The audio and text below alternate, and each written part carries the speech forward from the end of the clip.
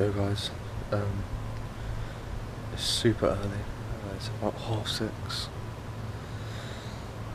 Um, I forced myself up so I could watch the sun come up, and luckily I've, it's not started to peek over the sea yet, so I'm in for a real treat.